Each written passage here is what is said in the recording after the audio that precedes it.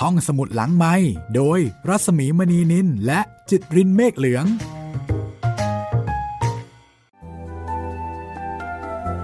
ได้เวลาของห้องสมุดหลังไม้เปิดทำการแล้วนะคะ ช่วงนี้ เป็นเรื่องที่น่าสนใจมากนะคะ วรรณกรรมพุทธประวัติในทัศนะใหม่ ที่เราอาจจะไม่เคยได้ฟังในมุมมองนี้มาก่อน บทประพันธ์ของท่านติชนัทฮัน พระภิกษุชาวเวียดนาม คือเมฆสีขาว ทางก้าวเก่าแก่ แปลเป็นภาษาไทยโดยคุณรสนาโตสิตระกูล และคุณสันติสุขโสพลสิริค่ะ วันนี้มาถึงตอนที่ 8 แล้วนะคะ กับการที่เรา เดินทางตามรอยพุทธประวัติ ของพระศาสดา ความเดิมตอนที่แล้ว แม้ว่าพระเจ้าสุดโทธนะ จะพยายามอย่างเต็มที่ในการที่จะใช้โลกียสุข ผูกมัดเจ้าชายสิทธัตถะให้ติดอยู่กับความสุขทางโลก ไม่ว่าจะเป็นการอภิเษกสมรสกับพระนางยโสธรา ซึ่งก็เป็นหญิงที่เจ้าชายสิทธัตถะรัก หรือว่าจะเป็นความพยายามในการที่จะบำรุงบำเรอด้วยความสุขสารพัดสารพัน แต่ในที่สุดคำถามที่รบกวนจิตใจเจ้าชายสิทธัตถะคืออะไรคืออริยมรรคอะไรคือทางหลุดพ้นแห่งความทุกข์คำถามนี้ เติบโตขึ้นในใจของพระองค์เรื่อยๆ จนกระทั่ง คืนวันหนึ่ง พระองค์ก็ตัดสินพระไทยนะคะ ที่จะเดินทางออกจากกรุงกบิลพัทกลางดึก ในค่ำคืนที่มีการเฉลิมฉลอง กันอย่างสนุกสนาน โดยที่ไม่มีใครคาดคิด แต่พระนางเยโสธรานั้น ฝันสามเรื่องก่อนหน้านั้น แล้วก็เป็นฝันที่บอกคล้าย ๆ กับบอกสัญญาณนะคะ ว่า คงจะถึงเวลาแล้ว ที่เจ้าชายสิทธัตถะพระสวามี จะออกเดินทางเพื่อค้นหาความจริง ที่พระองค์ ต้องการค้นพบ เจ้าชายสิทธัตถะบอกกับตัวเองว่าถ้าพระองค์ไม่พบในสิ่งที่ต้องการ คือหนทางแห่งการหลุดพ้น พระองค์จะไม่กลับมายังกรุงกบิลพัทเป็นอันขาด นี่คือ นี่คือความมุ่งมั่นของพระองค์นะคะ พระองค์จากไปโดยที่ไม่ได้ร่ำลา กับพระนางเยโสธรา เพราะว่าก่อนหน้านั้น พระองค์คิดว่าได้บอก แล้วก็ได้พูดทุกสิ่งทุกอย่างกับพระนางไปหมดแล้ว เกรงว่าถ้าปลุกขึ้นมาเพื่อร่ำลา ก็จะเป็นการเพิ่มความเจ็บปวดในการจากลา พระองค์จึงเลือกที่จะจากไปอย่างเงียบๆ โดยมีนายชนะขอติดตามไปด้วยนะคะ วันนี้ตอนที่ 8 ค่ะ ตอนที่ 8 นะคะ กับช่วงเวลาเริ่มบำเพ็ญเพียรทางจิตของเจ้าชายสิทธัตถะถ้าคุณผู้ฟังพร้อมแล้ว เราจะเริ่มเดินตาม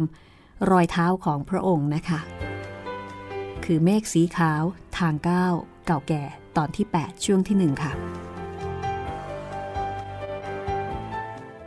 เจ้าชายสิทธัตถะและนายชนะ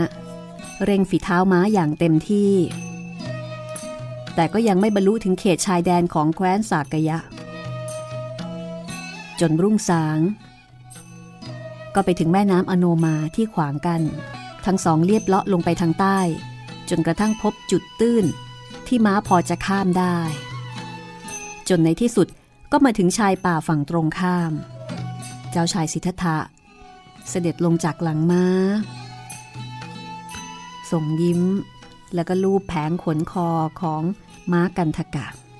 กันทกะ เจ้าเป็นม้ามหัศจรรย์ ช่วยพาข้ามาถึงที่นี่ข้าขอขอบใจเจ้าที่ช่วยเหลือครั้งนี้ เจ้าชาย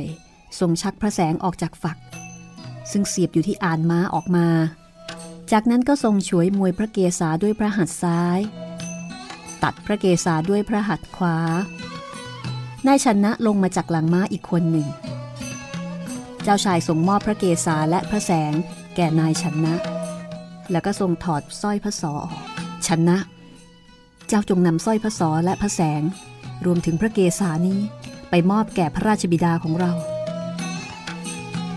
จงบอกพระราชาให้ทรงมั่นพระทัยในตัวเรา เราไม่ได้สละเวียงวางออกมา เพื่อหลีกเลี่ยงความรับผิดชอบอย่างเห็นแก่ตัว เราจะจากไปเพื่อพวกท่าน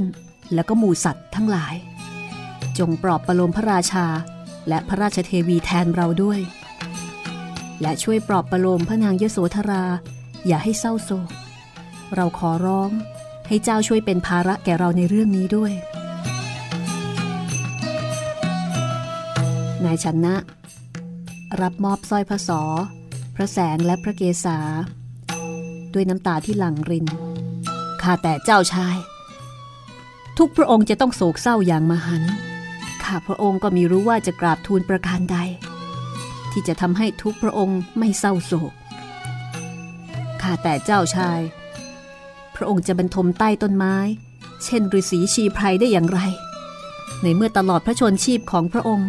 มิได้ทรงรู้จักอะไรอื่นเลย นอกจากพระแท่นบรรทมอันอบอุ่นและอ่อนนุ่ม ไม่ต้องห่วงดอกในชนะ เราสามารถมีชีวิตอยู่เหมือนคนอื่นได้ จ้ากลับไปกราบทูลให้ทุกๆ พระองค์ทรงทราบถึงการตัดสินใจของเรา ก่อนที่ ทุกพระองค์จะทรงวิตกกังวลถึงการหายตัวไปของเรา ปล่อยเราไว้ที่นี่แต่ลำพังเถิด นายชนะไม่ยอมนะคะ รบเร้าที่จะติดตามรับใช้เจ้าชายสิทธัตถะ แต่เจ้าชายก็ยังคงยืนกราดชนะ เราต้องการให้เจ้ากลับไปแจ้งข่าว แก่ครอบครัวของเรา หากเจ้าหวังดีต่อเราจริง ๆ จงทำตามที่เราบอก เราไม่ต้องการให้เจ้าอยู่ที่นี่ ไม่มีสมณะรูปใดที่มีคนรับใช้ส่วนตัว เจ้าจงกลับสู่พระนครณบัดนี้เถิดนายชันนะลังเล ไม่อยากทำตามพระบัญชาเลยนะคะ เขาสอดพระเกศาและสร้อยพระสอไว้ในอกเสื้อ เสียบพระแสงเอาไว้ที่อานม้ากันทกะนายชันนะ รู้สึก อยากจะอยู่รับใช้มากกว่าที่จะเดินทางกลับไปแจ้งข่าวอันเศร้าสลด เป็นภาระที่นายชนะไม่อยากจะทำเลย แต่ในที่สุด ในเมื่อเจ้าชายสิทธัตถะทรงยืนกรานอย่างมั่นคง นายชนะก็ต้องทำตามพระประสงค์ ช่วยบังเหียนม้ากันทกะ พร้อมกับขึ้นขี่ม้าของตน ม้ากันทกะ เหลียวมองเจ้าชายเป็นครั้งสุดท้าย ดวงตาของม้าคลอด้วยน้ำตาไม่น้อยไปกว่านายชนะ ทั้งม้าทั้งคนค่อยๆ ลับหายไปจากสายพระเนตรของเจ้าชายสิทธัตถะ จากนั้นพระองค์จึงเสด็จสู่ป่า เริ่มต้นชีวิตใหม่ บัดนี้ท้องฟ้าจักเป็นดังลังคา ป่าจักเป็นเสมือนบ้าน ชีวิตของพระองค์จะเปลี่ยนไปไม่มีวันเหมือนเดิมอีกต่อไป ขณะนั้นเองมีบุรุษผู้หนึ่งเดินออกมาจากป่า ตอนแรก เจ้าชายคิดว่าเป็นสมณะ เพราะว่าสวมเสื้อผ้า คล้ายๆ กับจีวรของนักบวช แต่เมื่อดูใกล้ๆ ก็เห็นว่าชายผู้นี้ถือคันธนูและสะพายแล่งลูกศรพาดหลังอยู่ ท่านเป็นนักล่าสัตว์ใช่หรือไม่ ใช่แล้ว หากท่านเป็นนักล่าสัตว์ เหตุไฉนท่านจึงครองผ้า เหมือนกับสมณะ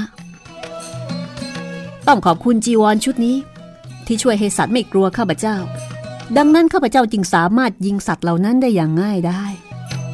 เจ้าชายทรงสั่นพระเศียรเมื่อทราบความจริง แสดงว่าท่านได้เอาความเมตตาของนักบวชไปใช้ในทางที่ผิด ท่านจะตกลงขายจีวรของท่าน แลกกับอาพรของเราไหมในพราน จ้องมอง เครื่องทรงของเจ้าชายสิทธัตถะด้วยความตกตะลึง ท่านต้องการจะแลกชุดกับข้าพเจ้าจริง ๆ หรือ แน่นอนที่สุด ท่านสามารถขายอาพรเหล่านี้ได้เงินมากพอ ที่น่าจะหยุดอาชีพล่าสัตว์ได้ แล้วก็ไปเริ่มต้นอาชีพใหม่ซะสำหรับเรา เราปรารถนาที่จะเป็นสมณะ และจำเป็นต้องมีจีวร เหมือนอย่างที่ท่านสวมใส่อยู่ ในพรานดีใจมาก ตกลงแลกจีวรของเขา กับฉลองพระองค์อันหรูหราของเจ้าชายแล้วก็รีบพระจากไป ตอนนี้เจ้าชายสิทธัตถะอยู่ในสภาพของนักบวชอย่างแท้จริง พระองค์ย่างพระบาทเข้าสู่ป่า เพื่อหาต้นไม้เป็นที่ประทับ ทรงนั่งสมาธิภาวนา ทรงสัมผัสความปลอดโปร่งอันยิ่งใหญ่ ทรงนั่งสมาธิเพื่อหล่อเลี้ยงความรู้สึกปลดปล่อยและเป็นอิสระ ซึ่งสัมผัสได้ในช่วงขณะที่พระองค์เสด็จเข้าสู่ป่า แสงอาทิตย์ทอผ่านแมกไม้ ลงมากระทบเปลือกพระเนตรของเจ้าชายสิทธัตถะ ซึ่งตอนนี้คือพระสิทธัตถะหรือสมณะสิทธัตถะเมื่อพระองค์ทรงลืมพระเนตร ก็เห็นสมณะรูปหนึ่ง ยืนอยู่เบื้องหน้า เป็นสมณะที่มีร่างกายแล้วก็ใบหน้า ซึ่งสูบผอม เต็มไปด้วยริ้วรอยของการใช้ชีวิตอันคร่ำเคร่ง พระสิทธัตถะประทับยืน พรางพนมมือไหว้ บอกกับสมณะว่าพระองค์เองก็เพิ่งสละเรือนออกบวชยังไม่ได้มีโอกาสเป็นสิทธิ์ของสำนักอาจารย์ใด พระองค์มีพระประสงค์ที่จะเสด็จไปทางใต้ เพื่อที่จะหาสำนักปฏิบัติของพระอาจารย์ อาราระดาบทการามโคตเพื่อที่จะฝากตัวเป็นสิทธิ์สมณรูปนั้นบอกกับพระสิทธัตถะว่าท่านเอง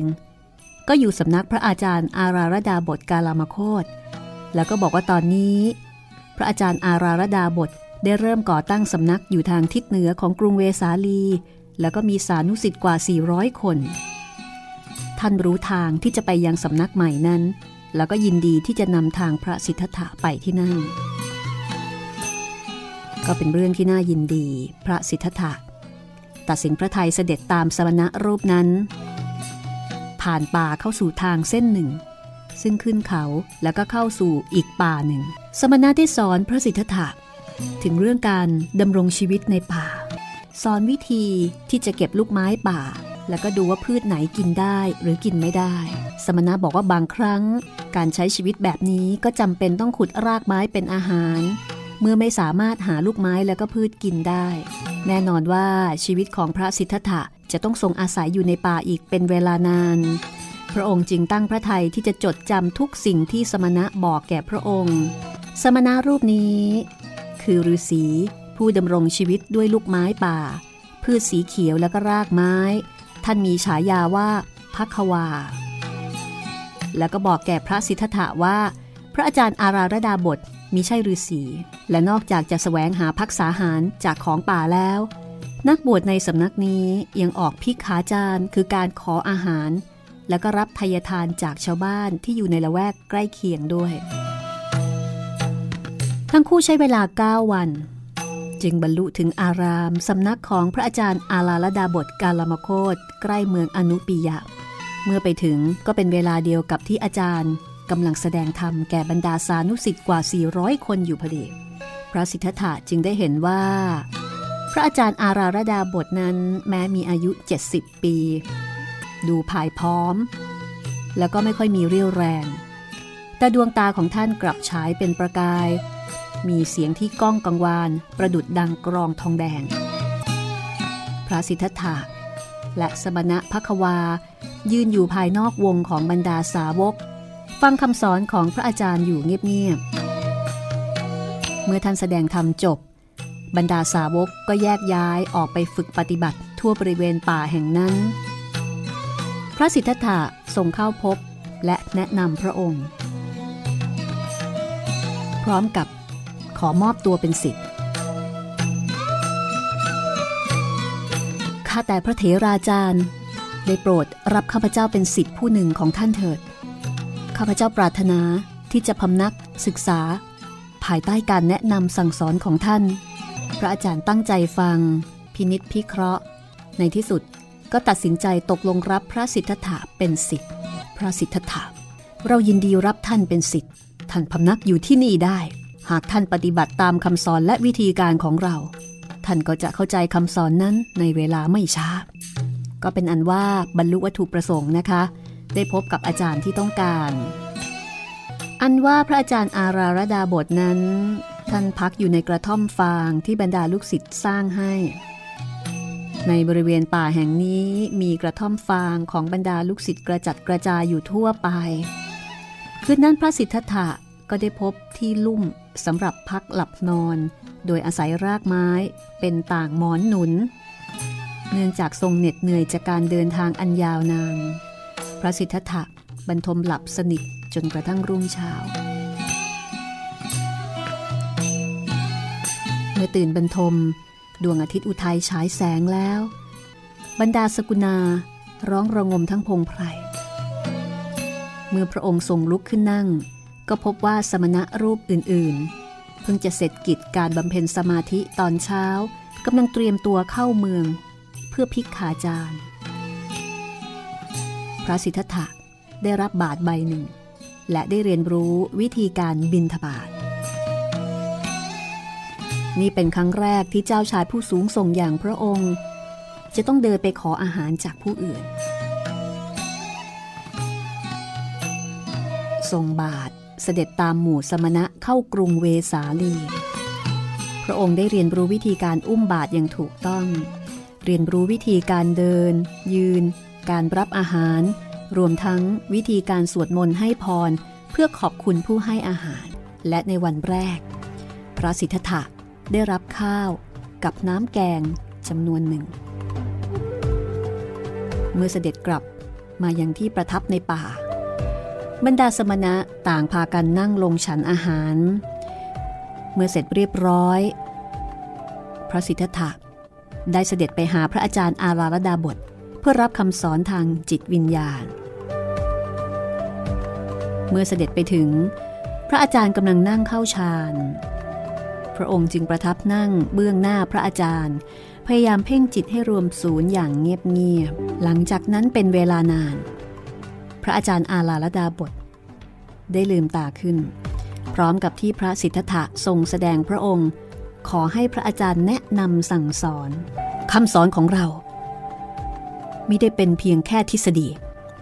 ความรู้ย่อมได้มาจากประสบการณ์ตรง และการบรรลุโดยตรง ไม่ใช่จากการถกเถียงทางความคิด ในการบรรลุถึงระดับสมาธิขั้นสูงขึ้นไป ท่านจะต้องกำจัดความคิดทั้งปวง ทั้งเรื่องอดีตและอนาคต ท่านจะต้องไม่สนใจสิ่งใดเลย นอกจากเพ่งไปที่โมกษะ นั่นคือการหลุดพ้น ตรัสถามถึงเรื่องการควบคุมร่างกายและก็อารมณ์ความรู้สึกทรงขอพระไทยพระอาจารย์ที่ช่วยชี้แนะ และก็เริ่มต้นปฏิบัติอย่างภาคเพียรทุกๆห้าหรือ 6 วัน พระสิทธัตถะ จะทรงกลับไปขอคำแนะนำจากพระอาจารย์ เกี่ยวกับปัญหาหรือว่าอุปสรรคที่พระองค์ได้ทรงพบในระหว่างการบำเพ็ญเพียร ในระยะเวลาอันสั้น ด้วยความตั้งใจ พระสิทธัตถะก็มีความก้าวหน้าไปไกลมากในการปฏิบัติ พักสักครู่ค่ะ เดี๋ยวกลับมาฟังกันต่อนะคะ กับการบำเพ็ญเพียรทางจิตในระยะเริ่มต้น ของการออกแสวงหาทางแห่งการหลุดพ้นของเจ้าชายสิทธัตถะค่ะ ห้องสมุดหลังไม้โดยรัสมีมณีนินและจิตรินเมฆเหลือง เข้าสู่ช่วงที่2นะคะ ของห้องสมุดหลังใหม่คือเมฆสีขาวทางก้าวเก่าแก่ตอนที่ 8 ช่วงที่2นะคะ ก็ต้องบอกว่าเป็นตอนสำคัญเพราะว่าเป็นจุดเปลี่ยนในชีวิตของเจ้าชายสิทธัตถะ เป็นการตัดสินใจครั้งใหญ่ในชีวิตของพระองค์นะคะ คือตอนเด็กๆที่เราเรียนพุทธประวัติ เราก็อาจจะเรียนแล้วก็ท่องๆไปงั้นๆ ไม่ได้รู้สึกพิเศษอะไร แต่ว่าเมื่อได้อ่าน การบรรยายอย่างละเอียดนะคะว่าในฐานะของมนุษย์คนหนึ่ง การที่จะทิ้งครอบครัว ละจากพ่อแม่ ราชบัลลังก์นะคะ ความสะดวกสบาย จากคนรัก จากลูก แน่นอนค่ะ นี่คือการต่อสู้ที่ยิ่งใหญ่ภายในจิตใจนะคะ แล้วก็คงจะต้องผ่านการกรุ่นคิดมาเป็นเวลานาน ไม่ใช่เรื่องเล็ก ๆ เลย คือพออ่านแล้วเราจะได้เห็นในมิติของความเป็นมนุษย์นะคะว่า พระพุทธองค์ท่านก็ต้องเออเรียกว่า ต้องเผชิญ กับความทุกข์ กับความขัดแย้งหรือว่ากับความสับสนอะไรบางอย่างเหมือนกันนะคะ ในช่วงที่พระองค์ยังไม่ได้บรรลุพระสัมมาสัมโพธิญาณ คือในฐานะของมนุษย์คนหนึ่ง พระองค์ต้องต่อสู้มากกว่ามนุษย์โดยทั่ว ๆ ไปหลายเท่าเหลือเกิน ได้อ่านแบบนี้แล้วทำให้เรารู้สึกใกล้ชิดกับพระพุทธเจ้ามากขึ้นนะคะ แล้วก็ทำให้รู้สึกรู้สึกศรัทธานะคะ ในความเข้มแข็งของพระองค์มากยิ่งขึ้นว่าโอ้โหถ้าเป็นมนุษย์อย่างเราๆเนี่ยมันมันไม่ใช่เรื่องง่าย ๆ เลยทีเดียวนะคะ กับการละทิ้งสิ่งที่เห็นเห็นอยู่ เพื่อไปหาอะไรบางอย่างที่ก็ไม่รู้ว่าจะเจอหรือเปล่า แล้วก็เป็นชีวิตใหม่ที่แตกต่างจากชีวิตเดิมอย่างสิ้นเชิงนะคะ จากที่เคยอยู่อย่างสุขสบาย ก็ต้องไปอยู่แบบลำบากสุดๆนะคะแม้กระทั่งอาหารก็ต้องไปขอเขากินนะคะ นี่คือวรรณกรรมพุทธประวัติในทัศนะใหม่นะคะ ที่ท่านติชนัทฮันได้เขียนขึ้น ชุดนี้มีอยู่ด้วยกันทั้งหมด 3 เล่มค่ะ เรายังอยู่เล่มที่ 1 นะคะ ก็จะค่อยๆ ก้าวตามรอยของพระพุทธองค์ไปด้วยกัน ไปเรื่อยๆนะคะ เหมือนเราได้เห็นชีวิตของพระองค์แล้วก็ได้เห็นธรรมะไปด้วย ถ้าชอบฟังแล้วมีความสุขหรือว่าเกิดประโยชน์ ก็สามารถที่จะเอาไปฝากคนที่คุณรักได้นะคะ แนะนำให้คนที่คุณรักมาใช้บริการห้องสมุดหลังไมค์ ทั้งที่เว็บไซต์แห่งนี้ แล้วก็ที่แอปพลิเคชันไทย PBS ค่ะ ทั้งบนสมาร์ทโฟน ระบบ Android แล้วก็ iOS นะคะ เอาละคุณผู้ฟังคะถ้าพร้อมแล้วเราไปฟังกันต่อเลยนะคะ กับช่วงของการปฏิบัติช่วงแรกที่เป็นลูกศิษย์ของอาราระดาบทการลามโคตค่ะ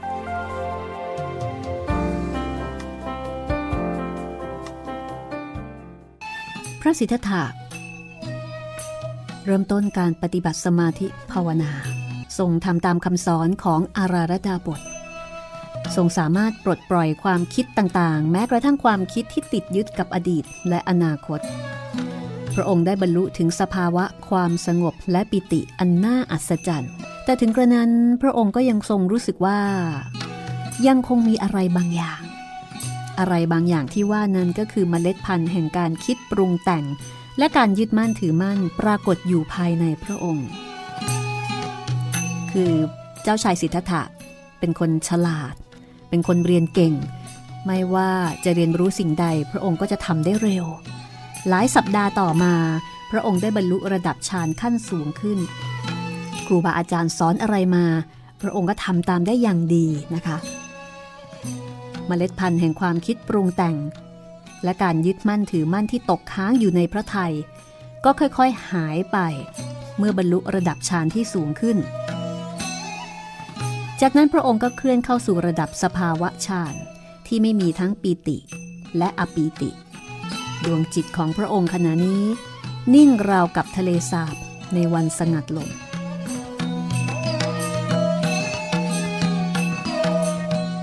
เมื่อพระสิทธัตถะทรงแสดงผลของการปฏิบัติ ต่อพระอาจารย์อาราลดาบท พระอาจารย์พอใจมากนะคะ แล้วก็บอกว่า พระองค์ก้าวหน้าไปไกล ในระยะเวลาอันสั้น อาราลดาบทได้สอนให้พระองค์รู้จักวิธีเข้าถึงสภาวะฌานที่เรียกว่า อากาสานัญจายตนะคือฌานอันกำหนดอากาศหรือช่องว่างอันหาที่สุดไม่ได้เป็นอารมณ์ ซึ่งจิตจะรวมเป็นเอกคตภาพกับอนันตภาวะ ปรากฏการณ์ทางวัตถุธรรมและจินตภาพจะไม่อุบัติขึ้นอีก จะมีแต่อวกาศ ซึ่งเสมือนเป็นแหล่งกำเนิดของสรรพสิ่งอันไร้ขอบเขต พระสิทธัตถะปฏิบัติตามคำสอนของพระอาจารย์ ภายในเวลาไม่ถึงสามวันค่ะ พระองค์ก็ประสบความสำเร็จ แต่ถึงกระนั้นยังทรงรู้สึกว่า ความสำเร็จนี้ก็ไม่สามารถปลดปล่อยพระองค์ให้หลุดพ้น จากบ่วงของโสกะปริเทวะและวิตกวิจารที่อยู่เบื้องลึกสุดได้ เมื่ออยู่ในสภาวะแห่งการตื่นรู้เช่นนั้น พระองค์ยังคงรู้สึกได้ ถึงนิวรณ์ที่เป็นอุปสรรคขวางกัน้นอันนี้อาจจะมีศัพท์ทางพระ อยู่หลายตัวนะคะ คุณผู้ฟังที่ผ่านการปฏิบัติธรรมหรือว่าศึกษาธรรมะ ก็คงพอจะเข้าใจ แต่ท่านที่ยังไม่เคยผ่านมา อาจจะลองไปค้นคว้าเพิ่มเติมนะคะ แต่อย่างไรก็ตามโดยสรุปเนี่ย คือไม่ว่าจะปฏิบัติตามพระอาจารย์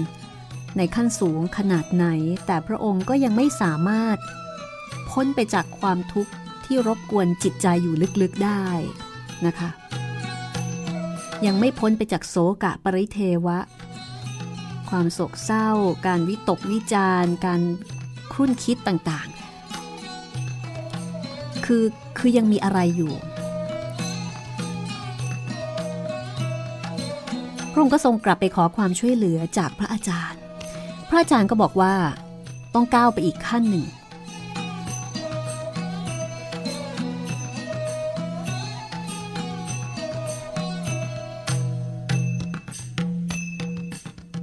คือ พระอาจารย์บอกว่า อากาสานัญจายตนะ คือแก่นสภาพเดียวกับจิตของพระสิทธัตถะมิใช่อารมณ์ที่ตั้งแห่งวิญญาณการรับรู้ แต่เป็นตัวจิตวิญญาณแท้ๆ แต่บัดนี้จะต้องเข้าถึงฌานขั้นที่เรียกว่า วิญญาณันจายตนะญาณ คือฌานอันกำหนดวิญญาณหาที่สุดมิได้ ให้กำหนดฌานนี้เป็นอารมณ์ ท่านจะต้องก้าวขึ้นไปอีกหนึ่งขั้น อากาสานัญจายตนะ ก็คือแก่นสภาพเดียวกันกับจิตของท่านเอง มันไม่ใช่อารมณ์ที่ตั้งแห่งวิญญาณการรับรู้ของท่าน หากแต่เป็นตัวจิตวิญญาณแท้ ๆ ของท่านเอง บัดนี้ท่านจะต้องเข้าถึงฌานขั้น วิญญาณัญจายตนะฌาน คือฌานอันกำหนดวิญญาณหาที่สุดไม่ได้เป็นอารมณ์พระสิทธัตถะเมื่อได้ฟังดังนั้นนะคะ ก็เสด็จกลับไปปฏิบัติต่อยังกุฏิของท่าน และภายในสองวัน พระองค์ก็ได้ทรงประจักษ์แจ้งในอรูปฌานทรงเห็นจิตของพระองค์ปรากฏอยู่ในปรากฏการณ์ทุกอย่างในจักรวาล แม้ว่าจะบรรลุฌานสมาบัติสูงถึงขั้นนี้ แต่พระองค์ก็ยังคงรู้สึกเหมือนถูกกดดันจากวิตกจริต และวิปรินามทุกข์ที่ซ่อนอยู่ลึกๆ ภายในพระองค์ ก็คือยังไม่พ้นไปจากความทุกข์ลึกๆอยู่ดี พระองค์ก็กลับไปอีก แล้วก็เล่าอุปสรรคให้พระอาจารย์ฟัง พระอาจารย์ได้ฟัง ก็มองพระสิทธัตถะด้วยสายตาที่นับถืออย่างลึกซึ้งนะคะ แล้วก็กล่าวว่า สิทธัตถะท่านเข้าใกล้จุดสุดท้ายมากแล้ว จงกลับไปยังกุฏิของท่าน แล้วเพ่งพิจารณาให้เห็นมายาภาพแห่งปรากฏการณ์ทั้งปวง ทุกสิ่งในจักรวาลถูกสร้างขึ้นโดยจิตของเราเอง จิตของเราเป็นต้นกำเนิดของปรากฏการณ์ทั้งปวง รูปเสียง กลิ่นรสและโผฏฐัพพะ เป็นต้นว่าร้อนเย็นกระด้างอ่อนนุ่ม เหล่านี้ล้วนเกิดจากจิตของเราสร้างขึ้นมาทั้งสิ้น ปรากฏการณ์เหล่านี้มีได้ดำรงอยู่อย่างที่เรามักคิดว่า มันเป็นวิญญาณการรับรู้ของเรา เหมือนดังจิตรกรผู้วาดปรากฏการณ์ทุกอย่างให้เป็นตัวเป็นตนขึ้นมา เมื่อใดที่ท่านได้บรรลุสภาวะฌานขั้น อากินจัญญายตนะ คือฌานอันกำหนดภาวะที่ไม่มีอะไรอะไรเป็นอารมณ์ ท่านก็จะเป็นผู้สำเร็จอากินจัญญายตนะฌาน นี่คือสภาวะที่เราเห็นว่า ไม่มีปรากฏการณ์ใดดำรงอยู่ภายนอกจิตของเราเอง พระสิทธัตถะยกมือแสดงความขอบคุณพระอาจารย์แล้วก็กลับไปปฏิบัติต่อ อย่างที่พักของพระองค์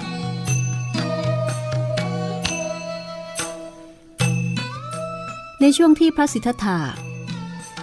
พำนักแล้วก็ปฏิบัติอยู่ในสำนักของพระอาจารย์อาลารดาบท พระองค์ก็ได้รู้จักคุ้นเคยกับสหธรรมิก หรือว่าเพื่อนทางธรรมอื่น ๆ หลายรูป บรรดาสหธรรมมิก หรือว่าเพื่อนทางธรรมทั้งหลายนะคะ ก็ถูกอัธยาศัยในบุคลิก ความมีเมตตาแล้วก็ความเบิกบานของพระสิทธัตถะ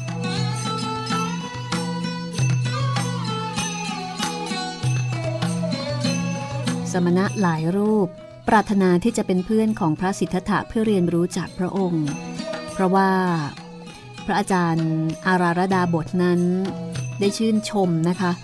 ยกย่องว่าพระสิทธัตถานั้นเป็นผู้ที่เรียนรู้เร็ว แล้วก็มีความก้าวหน้าเร็วไปกว่าสิทธิ์ทั้งหลายมาก คือพูดง่ายๆว่าเป็นผู้ที่เรียนเก่งมากนะคะ สอนอะไรไปก็ทำได้หมดแล้วก็ทำได้เร็ว ครั้งหนึ่ง พระอาจารย์อาราระดาบท ได้ถามภูมิหลังว่าเป็นใครมาจากไหน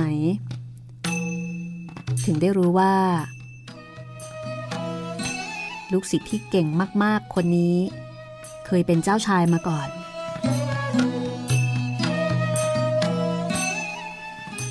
และบรรดาเพื่อน ก็คงอยากรู้เหมือนกันนะคะว่า พระหนุ่มรูปนี้มาจากไหน เมื่อได้รับคำถาม พระองค์จะรับสั่งอย่างถ่อมพระองค์ว่า เรื่องนี้ไม่สำคัญ จะดีกว่า ถ้าเราจะมาเสวนากันเฉพาะเรื่องประสบการณ์ในการปฏิบัติของเรา ภายในเวลาไม่ถึงหนึ่งเดือน พระสิทธัตถะก็ได้บรรลุ อากินจัญญายตนะฌาน ด้วยความยินดีที่ได้สำเร็จสภาวะการรู้แจ้งนี้ พระสิทธัตถะได้ใช้เวลาหลายสัปดาห์ พยายามที่จะใช้สภาวะดังกล่าว แก้ปัญหาอุปสรรคเบื้องลึกภายในความคิดและจิตใจของพระองค์ แต่แม้ว่าอากินจัญญายตนะฌานจะเป็นสภาวะฌานที่ลึกซึ้งมาก แต่ก็ยังไม่สามารถช่วยพระองค์ให้พ้นไปจากบ่วงทุกข์ได้อีกตามเคย ระองค์ก็กลับไปขอคำแนะนำจากอาจารย์อาลาลดาบทอีกครั้งหนึ่ง พระอาจารย์ เมื่อได้ทราบเช่นนั้นนะคะว่าลูกศิษย์ปฏิบัติตามแล้วก็ไปถึงแล้ว ดวงตาของท่านก็เปล่งประกายแสดงความนับถือชื่นชมอย่างสุดซึ้ง นี่แน่สมณะสิทธัตถะท่านได้รับพรสวรรค์อันล้ำลึก ท่านได้บรรลุระดับขั้นสูงสุด ที่เราสามารถจะสอนได้แล้ว สภาวะธรรมทุกอย่างที่เราได้บรรลุ ท่านก็ได้บรรลุแล้วเช่นกัน เราจงมาร่วมกันนำทางหมู่สมณะ ในสำนักนี้เถิด คือไม่มีอะไรจะสอนแล้วนั่นเอง ก็เลยชวนให้มาช่วยเป็นอาจารย์สอนด้วยกันนะคะ พระสิทธัตถะทรงนิ่งเงียบ ในขณะที่พิจารณาคำเชิญชวนของพระอาจารย์ ทรงพิจารณาว่าในเมื่ออากินจัญญายตนะฌานเป็นผลอันล้ำค่าสูงสุดของฌานแล้ว แต่ในเมื่อไม่สามารถจะแก้ปัญหาพื้นฐาน เรื่องการเกิดแก่เจ็บตาย แล้วก็ไม่สามารถช่วยให้หลุดพ้นจากความทุกข์ความวิตกกังวล ไม่สามารถนำไปสู่การหลุดพ้นทั้งปวงจุดมุ่งหมายของพระองค์ ไม่ได้อยู่ที่การเป็นผู้นำหมู่คณะแห่งนี้ แต่พระองค์ต้องการค้นหาหนทางแห่งการหลุดพ้นอย่างแท้จริง พระสิทธัตถะจึงตอบพระอาจารย์ว่า ข้าแต่พระอาจารย์ สภาวะแห่งอากินจัญญายตนะฌาน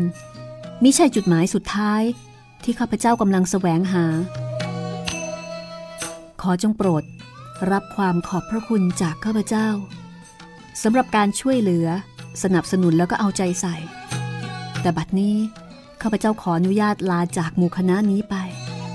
เพื่อแสวงหาอริยมรรคในที่อื่น ตลอดเวลาหลายเดือนที่ผ่านมา ท่านได้สอนข้าพเจ้าด้วยความเอาใจใส่อย่างยิ่ง ข้าพเจ้าเป็นหนี้บุญคุณของท่านตลอดไป อาราระดาบทกาลามโคตผิดหวัง แต่เมื่อพระสิทธัตถะ ได้ตัดสินใจแล้ว ก็ไม่สามารถที่จะทัดทานได้ ดังนั้นในวันรุ่งขึ้น พระสิทธัตถะก็ทรงก้าวสู่เส้นทางอีกวาระหนึ่ง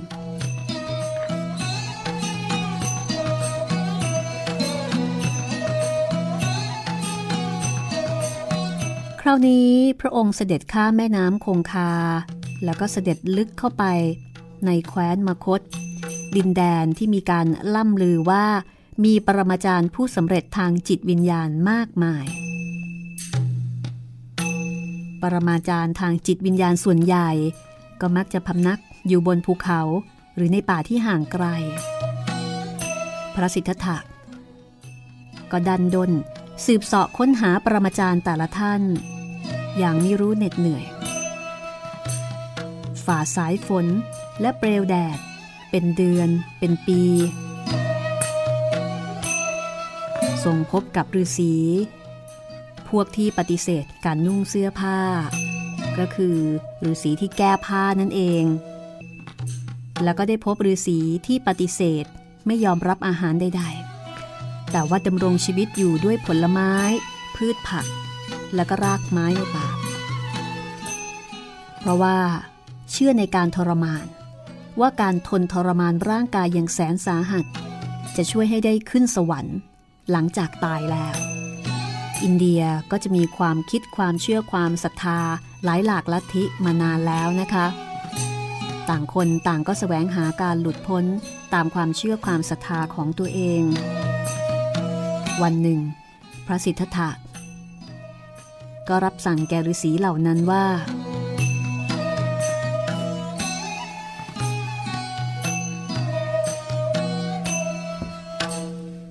แม้ว่าท่านจะได้เกิดใหม่ในสวงสวรรค์ ความทุกข์ในโลกก็ยังคงมีอยู่เหมือนเดิม การสแสวงหามรรคคือการค้นหาทางแก้ความทุกข์ของชีวิตไม่ใช่การหนีชีวิต เชื่อเถิดว่า เราไม่สามารถที่จะสำเร็จมรรคผลอะไรได้ หากเราบำรุงบำเรอร่างกายของเรา เหมือนกับพวกที่มีชีวิตหมกมุ่นอยู่กับความสุขในทางเนื้อหนัง แต่การทรมานร่างกายของเราเอง ก็ไม่ได้ช่วยอะไรได้เช่นกัน พระสิทธัตถะยังคงสแสวงหาต่อไป ทรงพักอยู่ในสำนักบำเพ็ญตบะบางแห่ง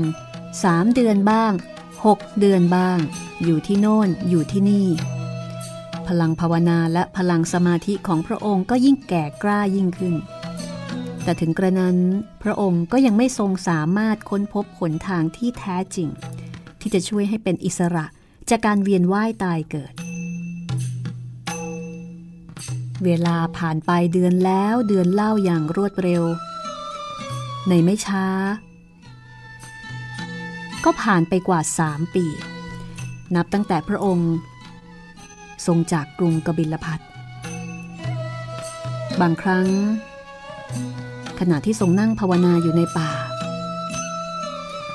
ก็ยังเกิดมโนภาพขึ้นในดวงจิตของพระองค์ ไม่ว่าจะเป็นภาพพระราชบิดา ภาพของพระนางยโสธรา ภาพของพระโอรสราหุล รวมทั้งภาพในวัยเด็ก วัยหนุ่ม ภาพในอดีต แม้ว่า ยากที่จะหลีกเลี่ยงความรู้สึกท้อถอยหมดกำลังใจ แต่ศรัทธาอันแรงกล้าของพระองค์ที่จะแสวงหาหนทาง แห่งการหลุดพ้น ก็เป็นปัจจัยที่เอื้อให้พระองค์มุ่งมั่นแสวงหาต่อไป นี่คือเมฆสีขาวทางก้าวเก่าแก่ วรรณกรรมพุทธประวัติในทัศนะใหม่ ตอนที่ 8 ค่ะ พบกับหนทางแห่งการค้นหาของพระพุทธองค์ได้ ตอนหน้าตอนที่ 9 นะคะ พระองค์จะได้พบกับพระราชาพระองค์หนึ่งค่ะ ที่เราค่อนข้างจะคุ้นพระนามของท่าน พระเจ้าพิมพิสารการพบครั้งนี้เกิดเหตุการณ์อะไรบ้างนะคะ ติดตามได้ตอนหน้าตอนที่ 9 คือเมฆสีขาวทางก้าวเก่าแก่เล่มที่หนึ่งวันนี้ลาไปก่อนสวัสดีค่ะ